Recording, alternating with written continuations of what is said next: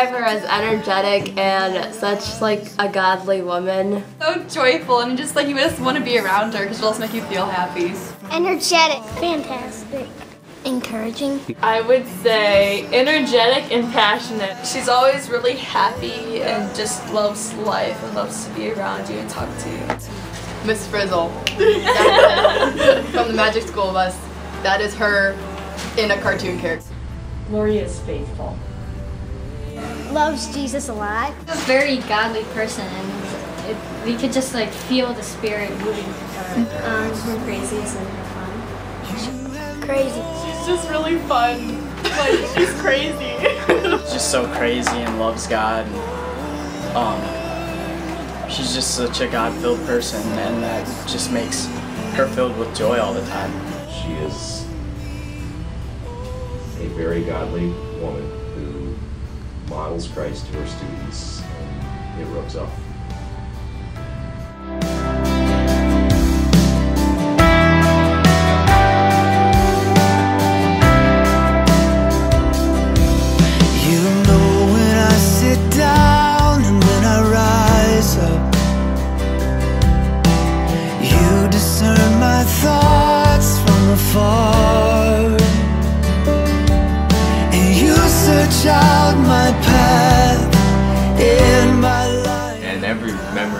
Memory of Miss J was the best, but uh, I think my favorite one was probably when whenever she would ask you a question, if you got the question right, you would get candy. You know, um, Gloria loves chocolate.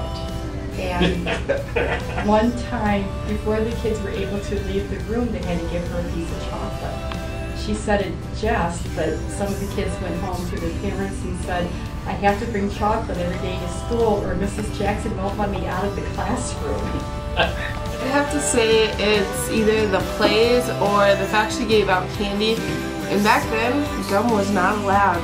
And she gave us lollipops with gum in it. And it was it was pretty fun. She'd always bring in like treats, even like on random days. She'd just be like, oh, I made these last night and let's eat like all of it. And we're just like, okay. She loves chocolate, and so I bought some chocolate, and, and I told her she had it, and she had to, you know, she had to get it. So I'm walking down the street holding up the chocolate, and she's running for her life, trying to get the chocolate, and screaming all the time for everybody to slow down.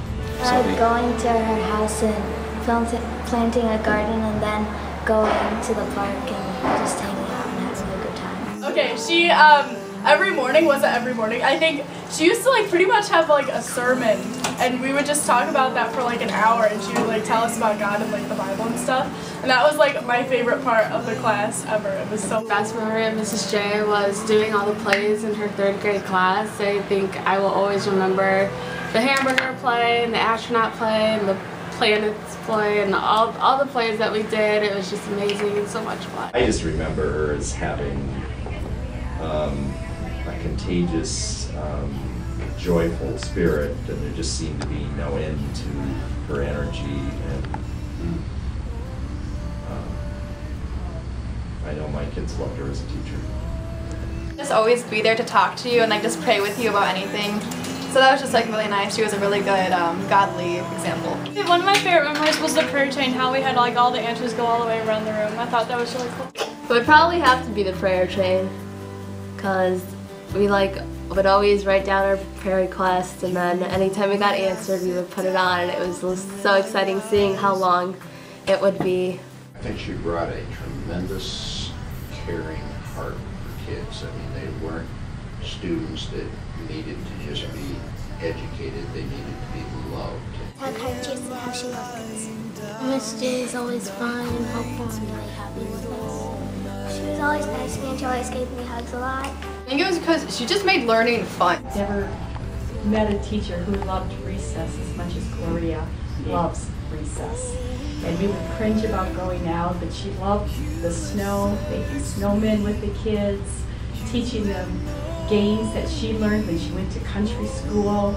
Um, a good day for her was when there was a good day of kickball at the recess. Jackson's like the most energetic teacher that she would just play kickball with you or any other sport and then she would just like help you win if you were on her team and stuff. Um, she played kickball with us every day. Even if she didn't have the right shoes, she would be the pitcher and she was the best team captain.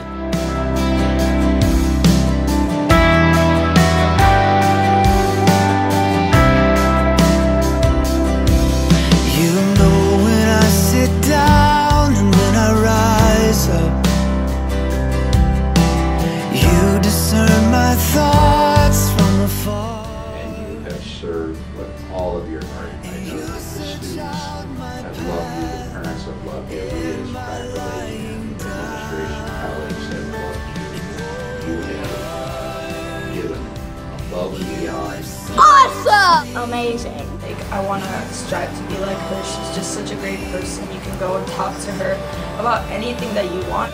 I'm glad my first year of Westlake was with her because she was just so inspiring and she just like made you strive for God even more and it was just a really cool thing to experience with her. Thank you for being faithful to your Lord and, and being willing to be yourself and, and let the kids see you as who you really are.